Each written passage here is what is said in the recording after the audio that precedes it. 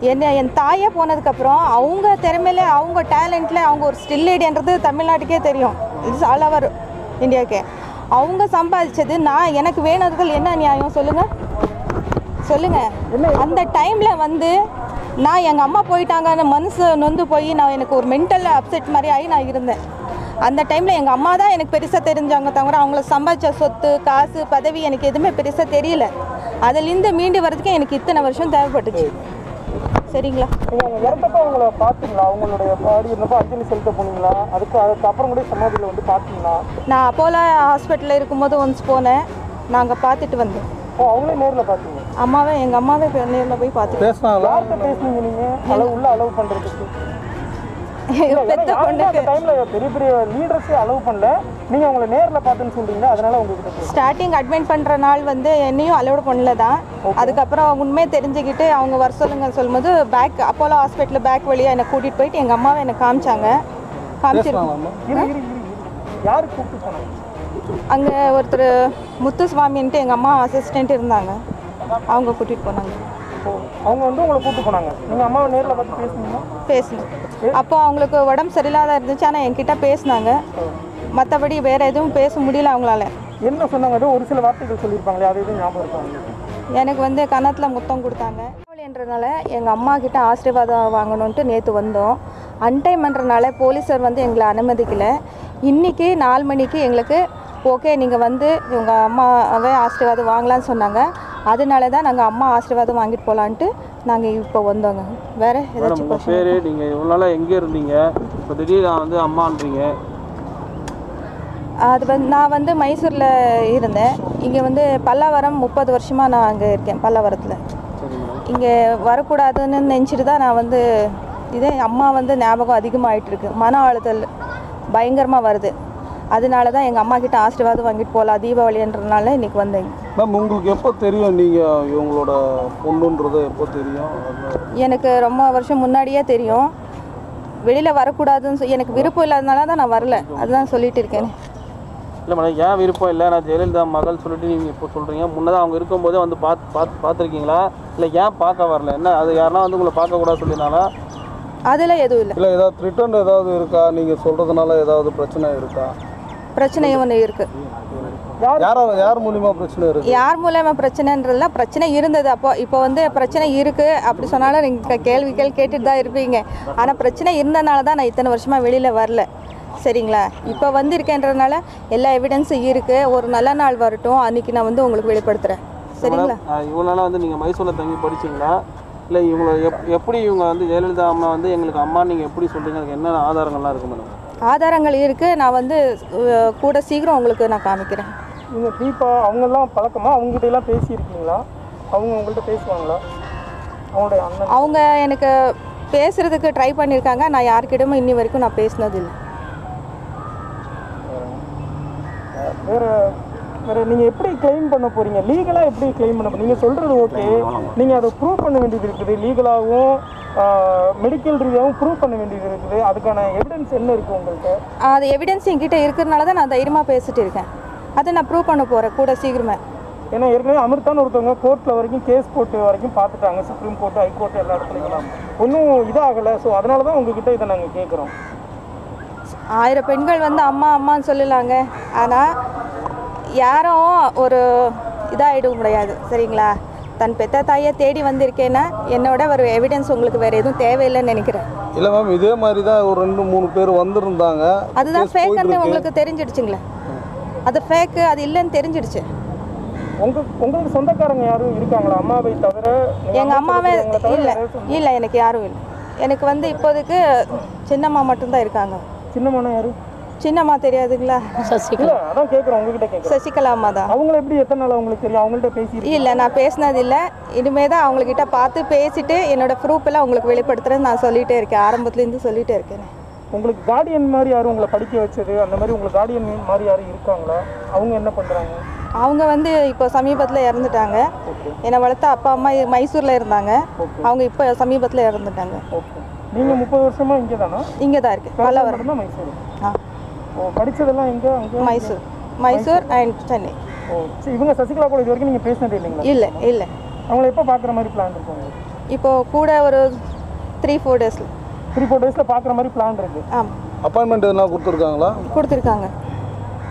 Madam இத்தனை நாளாக வராமல் நம்ம இப்போ ஏன் மேடம் வெளியே வந்திருக்கோம். வெளி உலகத்தில் தெரியணும் நம்ம ஏன் கொண்டு வந்திருக்கோம் அது அப்புறமா சொல்கிறேனே அதெல்லாம். இப்போவே சொல்லணுமா? நம்ம எல்லா கேள்விகளுக்கும் அப்புறம் அப்புறம் பண்ணும்போது இந்த டைமில் நீங்கள் என்ன சொல்ல விரும்புறீங்கப்பா? அம்மா சமாதியை பார்த்துட்டு வந்துருக்கீங்க என்ன சொல்ல விரும்புறீங்க? இல்லை உங்கள் கட்சிக்காரர்கள் நீங்கள் என்ன சொல்ல விரும்புறீங்க?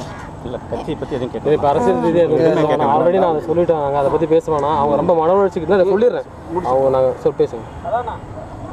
அரசியல் பற்றி எதுவுமே நீங்கள் கேள்வி கேட்காதீங்க. சரிங்க மேடம். கூட சீக்கிரமே அரசியல் பற்றியும் என்னோட பற்றியும் உங்களுக்கு எல்லா விளக்கும் வந்துடும் சரிங்களா? மேடம் உங்கள் பேர் கடைசி வரைக்கும் சொல்ல அதே போல் இத்தனை நாளாக அந்த சொத்து வழக்குகள் போயிட்டு இருந்தது அதே போல் ஒவ்வொரு அந்த போயஸ் கடன் வீடு வந்து எனக்கு சொந்தம்னு சொன்னாங்க. ஒரு தரப்பு இன்னொருத்தவங்க அவங்களுக்கு சொந்த தரப்புனாங்க அப்போல்லாம் நீங்கள் வெளியே வராமல் இப்போ திடீர்னு வெளியே வரதுக்கு காரணம் என்ன மேடம்? ஒரு தாயோட ஒரு சொத்து பெருசாக எதுவுமே இல்லை. கரெக்ட்டுங்களா? என்ன என் தாயே போனதுக்கப்புறம் அவங்க திறமையில அவங்க டேலண்ட்டில் அவங்க ஒரு ஸ்டில் லேடின்றது தமிழ்நாட்டுக்கே தெரியும். இட்ஸ் ஆல் ஓவர் இந்தியாவுக்கே அவங்க சம்பாதிச்சது நான் எனக்கு வேணுறதுகள் என்ன நியாயம்? சொல்லுங்கள் சொல்லுங்கள் அந்த டைமில் வந்து நான் எங்கள் அம்மா போயிட்டாங்கன்னு மனசு நொந்து போய் நான் எனக்கு ஒரு மென்டல் அப்செட் மாதிரி ஆகி நான் இருந்தேன். அந்த டைமில் எங்கள் அம்மா தான் எனக்கு பெருசாக தெரிஞ்சாங்க தவிர அவங்கள சம்பாதிச்ச சொத்து காசு பதவி எனக்கு எதுவுமே பெருசாக தெரியல. அதுலேருந்து மீண்டு வர்றதுக்கு எனக்கு இத்தனை வருஷம் தேவைப்பட்டுச்சு. சரிங்களா? இறந்தப்ப அவங்கள பார்த்தீங்களா அவங்களுடைய பாடி இருந்தப்போ அஞ்சலி செலுத்த போனீங்களா? அதுக்கு அதுக்கப்புறம் கூட சமாதியில் வந்து பார்த்தீங்களா நான் அப்போலோ ஹாஸ்பிட்டலில் இருக்கும்போது ஒன்ஸ் போனேன். நாங்கள் பார்த்துட்டு வந்தேன். அவங்களே நேரில் பார்த்தீங்க அம்மாவே எங்கள் அம்மாவே நேரில் போய் பார்த்துட்டு பேசினாங்களா யார்கிட்ட பேசுனீங்க நீங்கள் அளவு உள்ள அளவு பண்ணுறதுக்கு பெத்த பொண்ணுக்கு டைம்ல பெரிய பெரிய லீடர்ஸே அலோவ் பண்ணல. நீங்க அவங்கள நேர்ல பார்த்தேன்னு சொல்றீங்களா? அதனால கேக்குறேன். ஸ்டார்டிங் அட்மிட் பண்ணுற நாள் வந்து என்னையும் அலோடு பண்ணல தான்.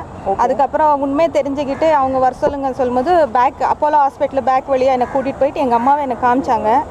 காமிச்சிருக்கோம் இரு இரு இரு இரு. யாரு கூப்பிட்டு போனாங்க அங்கே ஒருத்தர் முத்துசுவாமின்ட்டு எங்கள் அம்மா அசிஸ்டண்ட் இருந்தாங்க. அவங்க கூட்டிகிட்டு போனாங்க. அவங்க வந்து உங்களை கூப்பிட்டு போனாங்க. நீங்க அம்மாவை நேர்ல பார்த்து பேசுனீங்களா? பேசினேன் அப்போ அவங்களுக்கு உடம்பு சரியில்லாத இருந்துச்சு ஆனால் என்கிட்ட பேசினாங்க. மற்றபடி வேறு எதுவும் பேச முடியல அவங்களால. என்ன சொன்னாங்க? ஒரு சில வார்த்தைகள் சொல்லியிருப்பாங்களே அது எதுவும் ஞாபகம் எனக்கு வந்து கன்னத்தில் முத்தம் கொடுத்தாங்க. அப்புறம் என்னை கையை பிடிச்சி அவங்க கண் கலங்கி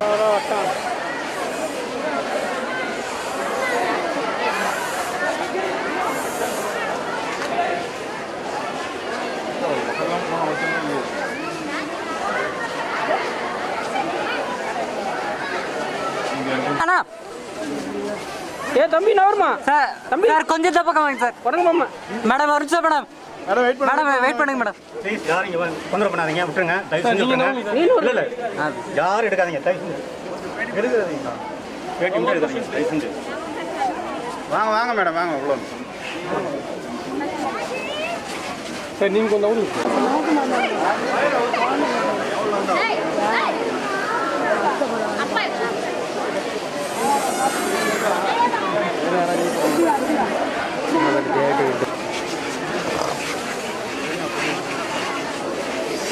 பின்னாடி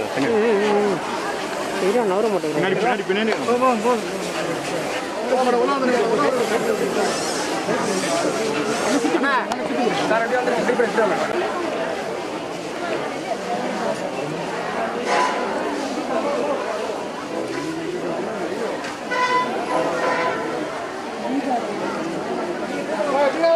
அண்ணா, அண்ணா, அண்ணா, ஓரம்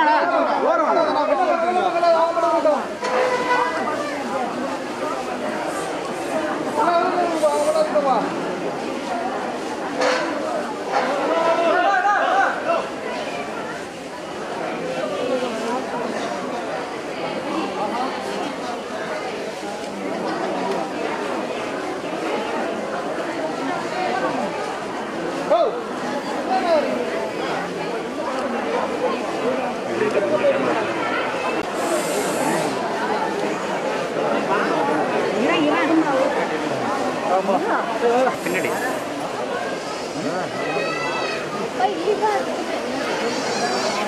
ஆ. ட்ரைபோர்ட் போயிடலாம் நீ பேட்டி இல்லைங்கடா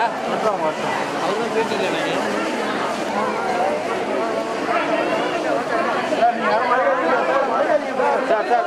சார் கொஞ்சம் இந்த பக்கம் வாங்க சார் சார் கொஞ்சம் இந்த பக்கம். சார் நாங்கள் விஷுவல் எடுத்துக்கிறோம் சார். சார் விஷுவல் ஒன்றே எடுத்துக்கிறோம் சார் நாங்கள்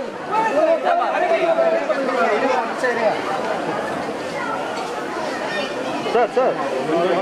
சார் விஷுவல் எடுத்துக்கிறோம் சார்.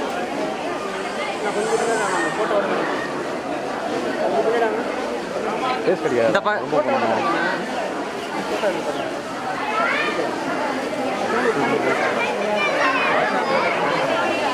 தமிழ் எக்ஸ் நியூஸ் பேஜை லைக் அண்ட் ஃபாலோ பண்ணுங்க. செய்திகளை உடனுக்குடன் தெரிந்து கொள்ளுங்க.